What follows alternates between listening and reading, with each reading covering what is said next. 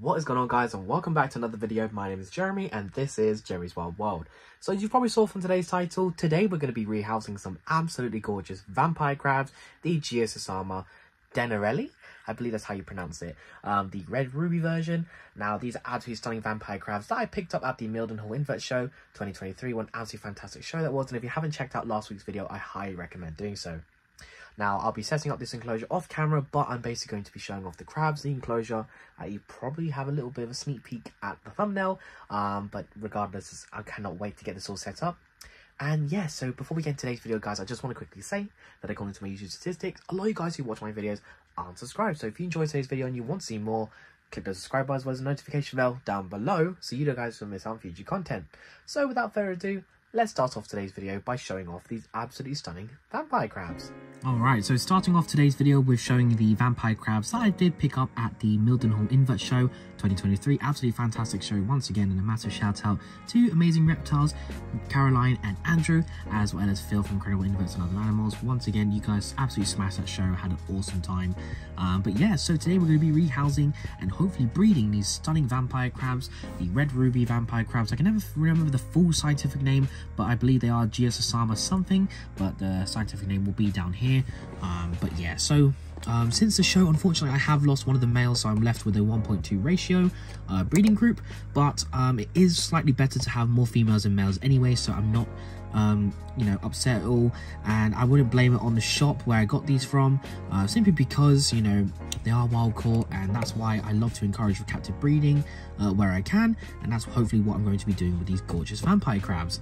Um, so yeah, let's have a look at these stunning little ones right here. So as you can see, they are climbing on the moss and stuff.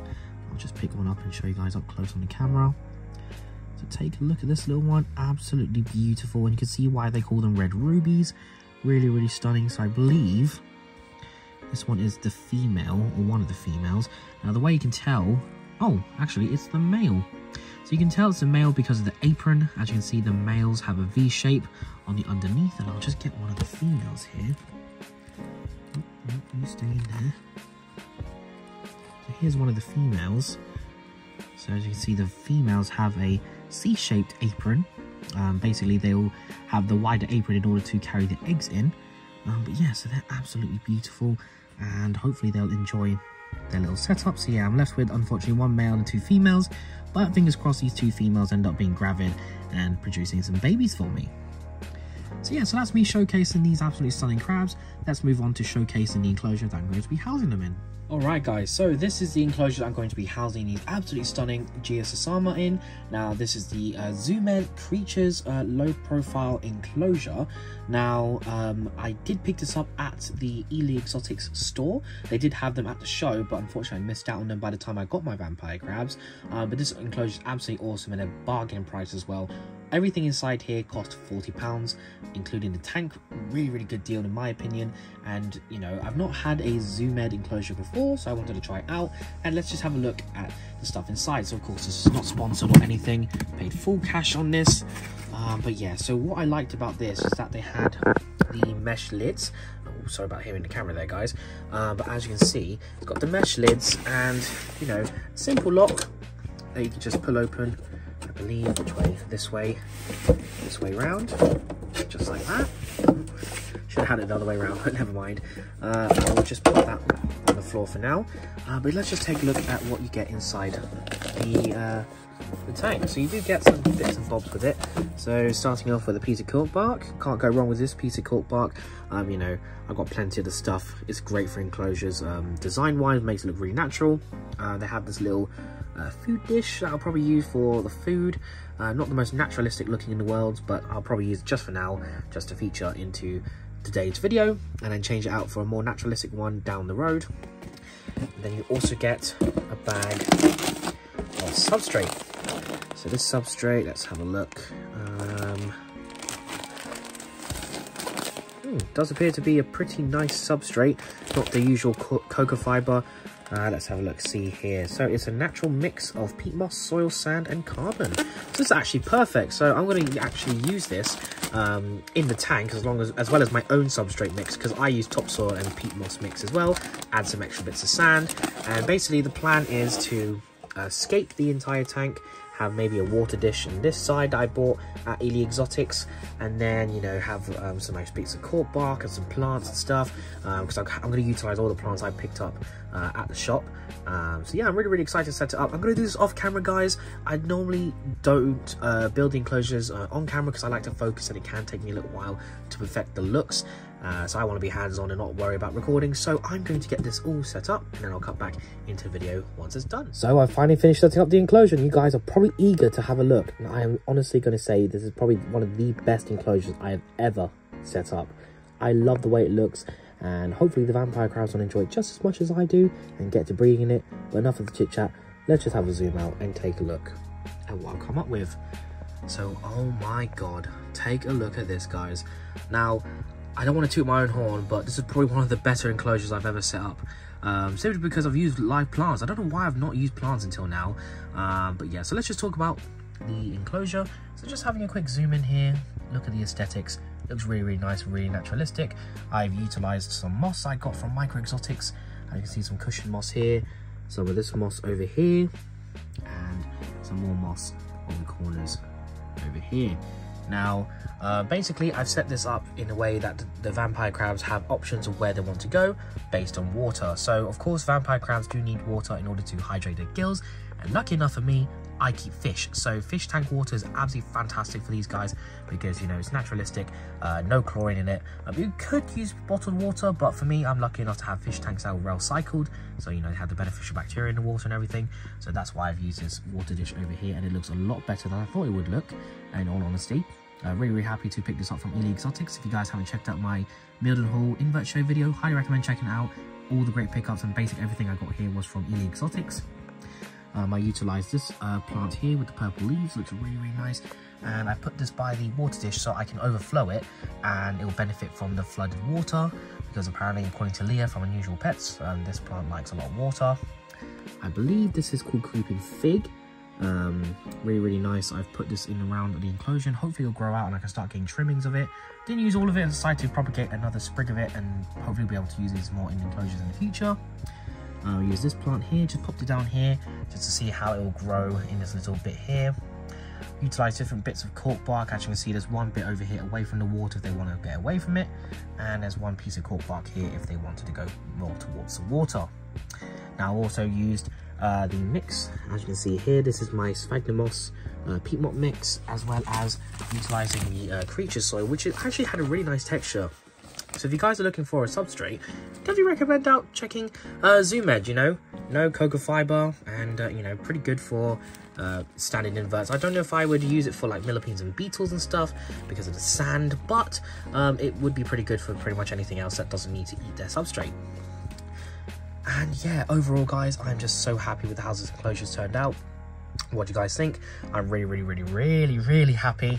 And I just hope that these vampire crabs enjoy it just as much as I do taking a look at it here. So let's get some up close footage of this absolutely amazing enclosure, then we'll get to rehousing these beautiful vampire crabs.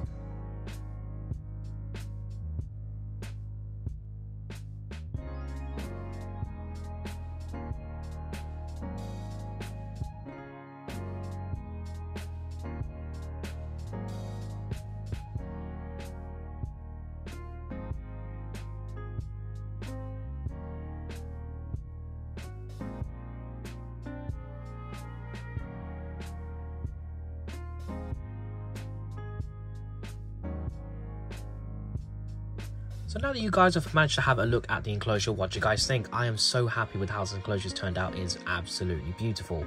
Now, I did want to talk about a couple things that I didn't mention when talking about the enclosure. Uh, you probably noticed that I didn't use the water dish um, or food dish that came with the Zoo Med enclosure. Now, although it does look pretty good, uh, and it is, I believe, glow in the dark under UV, um, I decided not to use it because I just like the naturalistic look of this enclosure too much to put something like that in there. Uh, but I probably will end up using it for something like, I don't know, some beetles or something like that to put their jelly pots in, or maybe my ants. Uh, but yeah, regardless, um, I'm really, really happy with everything that came in this enclosure and definitely check out Ely Exotics at the shows that they do manage to trade in. Uh, words are that they might be able to get to some of the shows in the future, um, so definitely go check them out for all of your uh, needs and stuff like that, absolutely fantastic. Um, and also, I managed to add in some uh, springtails in here. I finally got to use orange springtails in one of my enclosures. I've been breeding these for uh, quite a long time now, the Protonura species. Uh, you definitely will not see them in here because they are fossorial and hopefully in the time that it takes for them to acclimate into here they will start breeding and uh, you know I'll have a nice little breeding group of orange springtails in here. Kind of wanted to use something different than the typical normal springtails. Uh, but that's pretty much everything that I uh, did in here and I will be of course uh, using uh, fish tank water in here to keep the plants happy and healthy and keep these crabs uh, well oxygenated with the water uh, just in the pool down here so enough talking guys, let's get these absolutely gorgeous crabs rehoused. Uh, as you can see, they are just chilling in their sphagnum moss, but I'm going to uh, just take them out one by one and get them into their new enclosure. So the first one up is one of the females, as you can see right here. So I'm just going to pop this little one just onto the piece of cork bark. There you go. And there it is right there. So I'm going to grab another one now just basically do it one by one. So it looks up next I've got, let's see, it's the other female. Oops, don't jump away. Got a brand new enclosure to go into. There we go, right here as you can see, really, really beautiful. And I'll get this little one in here as well, just like that. So that is two of the three. Last but not least is the little male, which is buried up in the substrate just in the corner of the tub here he is once again for you guys. Absolutely gorgeous. Cleaning its eyes. Oh, look at that. Got a little bit dirt in its eyes. Um, but yeah, so I'm going to pop it over here as well. And just like that, they're rehoused and yeah this enclosure is really really nice size for them and hopefully they start breeding in here uh, and hopefully in the future I'll be able to acquire more of the species and further succeed in breeding them I definitely am going to get a couple maybe one or two more of these style enclosures and get more species of uh, vampire crabs now because these are just absolutely amazing just I cannot wait to see how they adapt in here and hopefully in the future I'll be able to update you guys with some babies so that's pretty much the end of today's video, guys. Let's get some up close footage of these stunning crabs, and then we'll end today's video.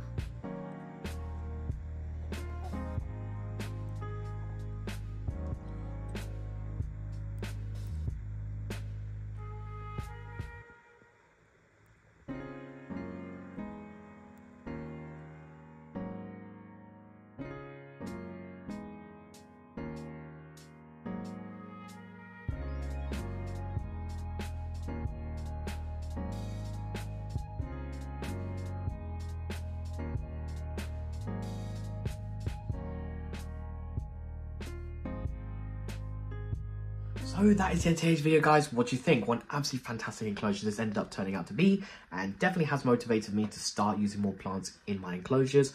Um, I had an awesome time setting this up, and I'm really, really happy with the Zoo Med enclosure. Highly recommend using them, guys. Uh, if you do see them about, definitely go check them out. And of course, check out Ely Exotics, information down in the description below.